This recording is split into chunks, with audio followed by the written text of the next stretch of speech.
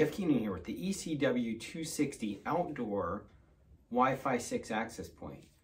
So the ECW260 is one of the first affordable outdoor Wi-Fi 6 access points.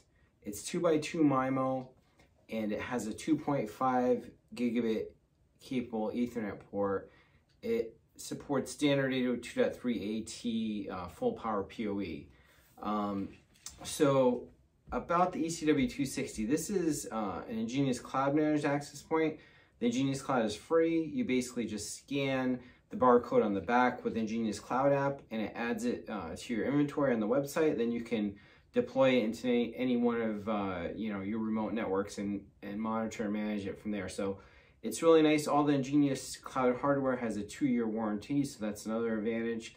Um, these would be great for, say, schools or church parking lots when if you're doing some sort of remote learning or remote services. Um, these can serve up high-density Wi-Fi situations like that. They're gonna the Wi-Fi 6 will extend the range and give you more capacity um, versus older 11AC access points.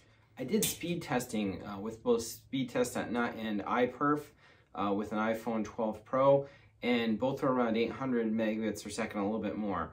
Um, now, another use for the ECW260, you could put these in mesh mode and bridge two buildings that are close together. Say, uh, if you have a good line of sight between two buildings, you could bridge them at, you know, close to gigabit speeds and then uh, also provide Wi-Fi uh, around both buildings. So that, that'd be another great use for that. Now, the ECW260 comes with uh, mounting hardware for poles and walls but it does include PoE injectors. So I'll put a link below to the PoE injector.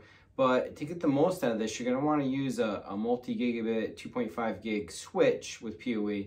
And I'll put a link to the EnGenius Cloud Managed uh, multi-gig switch down below. So again, this is the ECW260 from EnGenius. Please remember to like and subscribe for more help with Wi-Fi and tech.